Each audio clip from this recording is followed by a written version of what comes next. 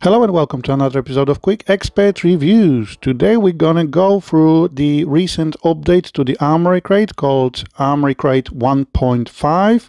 So this has landed on my UK-based ROG Ally today and uh, takes about five minutes to install. So if you want to install it, you can just search for it in your old Armoury Crate via the updates. So as you can see, some significant changes to the actual user interface. And first and foremost, we've got a new option to favorite the games, uh, which will then put it in the favorite tab. You can use a mouse, you can touch the screen as well, because obviously ROG Ally and Ally X are both touch screen. They've got touch screens, so you can do that. And then you've got a new list view as well, which allows you to yeah you guessed it. Put your games in a list view. Now it also tells you your local storage. You can sort your games by title. You can sort them by in alphabetical order. Or for example um, sort them via playtime so that is that. Then you've got game options. So I'm going to choose Fallout 76 for this one. So set game profile. You've got key mapping over here, but you also have one new feature, which is called select template. So you used to have templates on the old Armoury crate, but this time you can choose and create your own templates, but also export them and import them. So if you've got a really good template, a really cool template for your key bindings, you can export it and share it with your friends who can then can import it. I've got a feeling there's going to be a website coming in soon with all sorts of um, game profile settings. So as you can see, you can duplicate it, you can rename it, you can select it, you can export it and import it.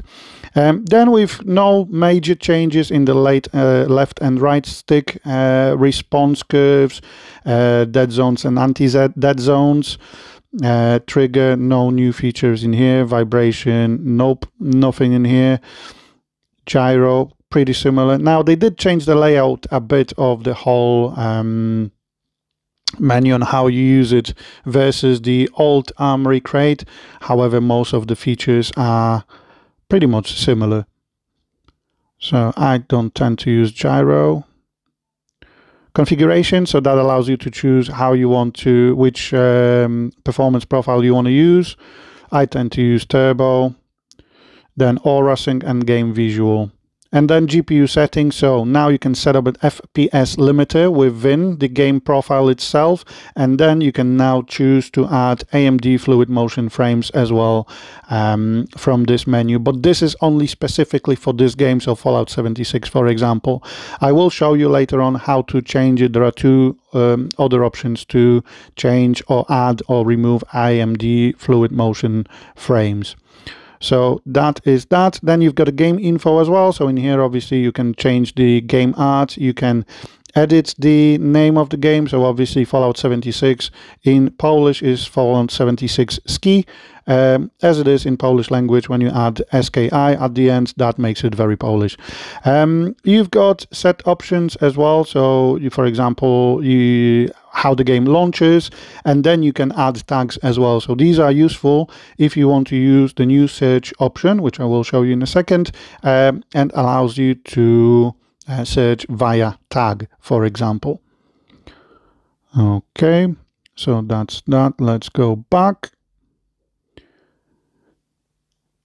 And as you can see, we've got game options in here. You've got game info. You can uninstall the games as well from within here, which is brilliant. And then, like I said, you've got a search bar now, so you can search via tags. But obviously, you can type the title of the game as well. If you've got more than me, um, I've got about 43 games installed. But obviously, if you've got, let's say, 4 terabyte uh, drive or something, got 143 games, it makes life easier. Now, in terms of the library as well and everything, you can now put it in vertical uh, mode mode as well. Well, view, you can do it top, center, bottom. You can change the size of the cover art, which is brilliant. Uh, you can remove the game title.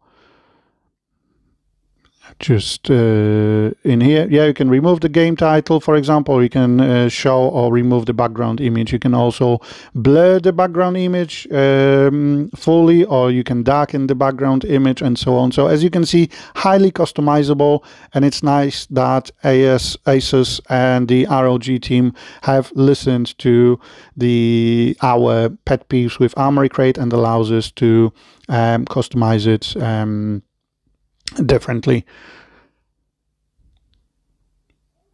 Okay, let's have a look. Yeah, this actually looks nice. However, I am a horizontal, sorry, vertical um, type of person. So I will be reverting this back to um, vertical mode because I just prefer to to to to browse it like that. I've been using Armoury Crate for quite a while, um, and I just got kind of got used to it. Um, but if you've been using, for example, I think it's called Playnite, um, this more resembles it of it or the Steam Big Picture mode.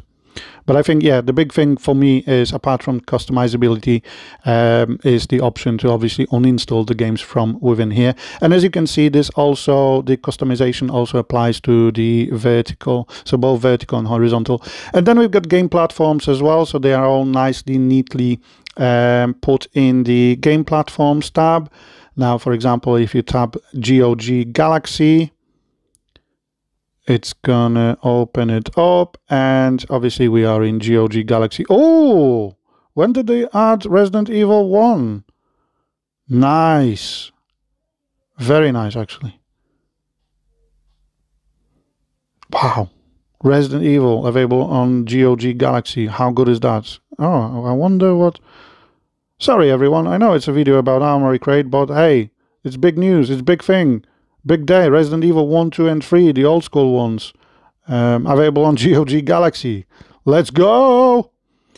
Okay, so let's move on to different settings. So we've got the control mode, pretty similar to the previous ROG Ally Armoury Crate.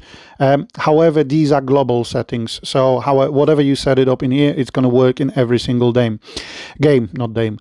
Then we've got obviously the dark mode and light mode for the Armoury Crate. But uh, one of the big things in here as well is the let's have a look. Oh, it's showing 60 hertz because I'm connected to 60 hertz mon external monitor. One of the big things in here is that you can now turn off Armoury Crate SE to not launch automatically when you fire up Windows. So when you fire up uh, Windows, when you log in, it won't show up, which for some people was quite important. No major changes in the operating and the performance mode, really. Um, some nice TLC here and there. It looks slightly different, but um, no major changes. However, there are some major changes in the performance tab. Again, you do have AMD Fluid Motion frames in here. So if you want to set it up for every single game, you can do so in here.